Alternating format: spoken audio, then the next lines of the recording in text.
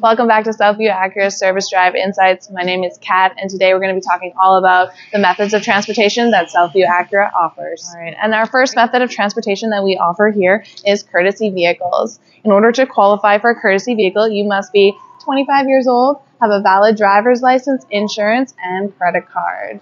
The vehicle will leave here with a full tank of fuel and it must return with a full tank of fuel as well. If we have to top it up, there might be a surcharge that could apply.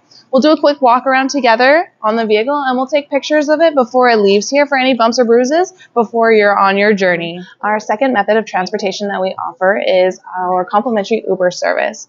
With that, after we're finished checking you in for your appointment, we'll take down all of your information for where you'll be going. And when you need to come back, we'll also take that information down as well in case it's a different address. Once we've taken down all of your information for your ride, we'll request it. Usually takes about two to three minutes for the Uber driver to arrive to our location to pick you up. And we'll head out the building outside the front glass doors here. All right. All right, it looks like he's just pulling up here and you'll be on your way we also offer the option for a flexible link with a complimentary Uber service. What this means is if you're going to be picking up the vehicle after hours, and that means service hours, we'll send you a flexible link which you can click and it'll send an Uber to your location within about two to three minutes. Please do not click that link until you are ready to go because as soon as you click it, they're going to be on their way to you.